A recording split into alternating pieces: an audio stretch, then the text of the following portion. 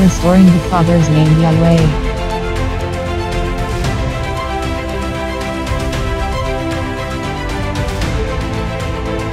Restoring the Messiah's name Yahshua.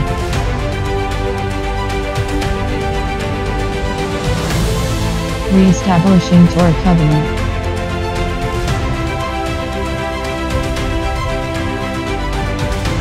Preparing the bride. The revealing of the sons of Elohim.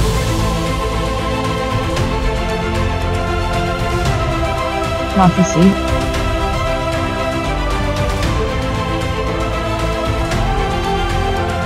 The return of Melchizedek, royal priesthood. Elijah's School of the Prophets. The Way Ministries.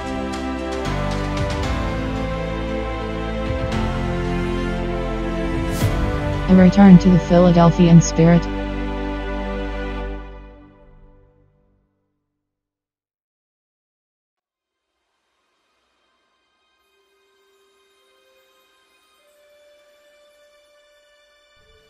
Revelation chapter 7.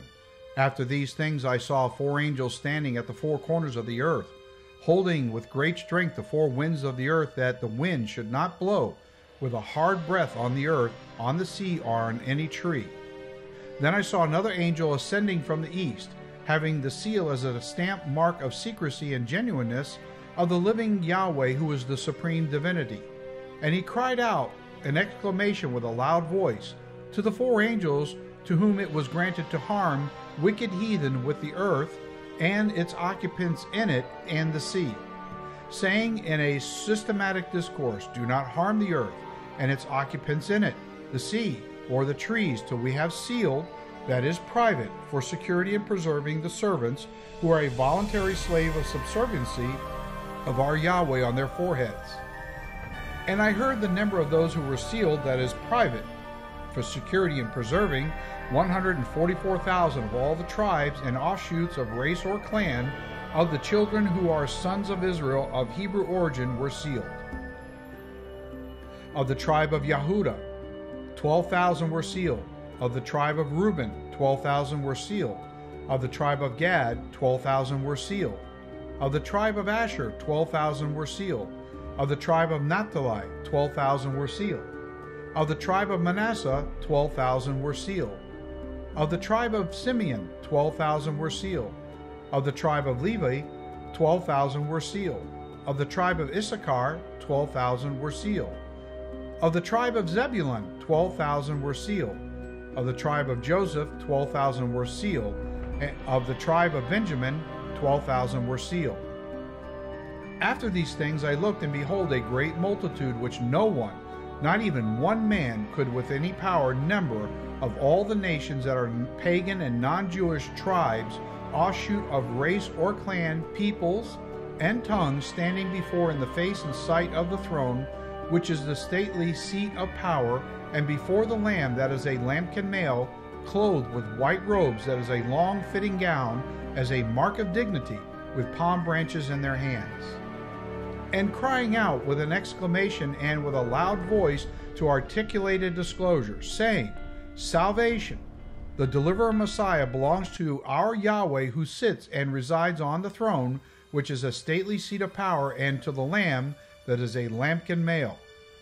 All the angels stood around in a circle of the throne, and the elders, who are the celestial council of the third heavens, and the four living creatures, and fell on their faces before the throne and worshiped by prostrating in homage like a dog licking his master's hand of Yahweh, saying, Amen, so be it, blessing of elegant speaking and eulogy, and glory of honor, praise, and worship, and wisdom of the highest spiritual order thanksgiving and honor of the highest degree, and of power that is miraculous, and might that is forcible, boisterous, and valiant, be to our Yahweh forever of the beginning of the world and ever, and without its end. Amen, so be it.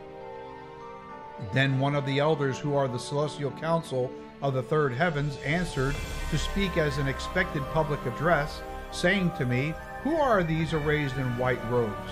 Where did they come from?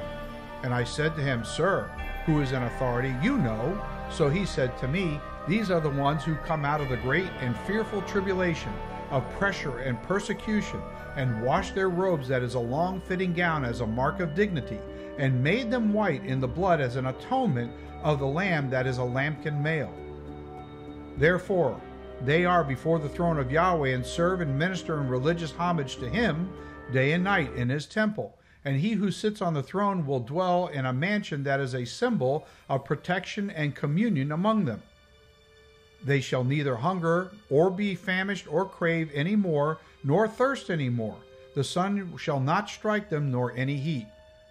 For the Lamb that is a lambkin male, who is the, in the midst of the throne, will shepherd and feed them, and lead by showing the way as teaching them to living fountains, that is a gushing source of enjoyment of waters. And Yahweh will wipe away that obliterates that sin, causes every tear from their eyes.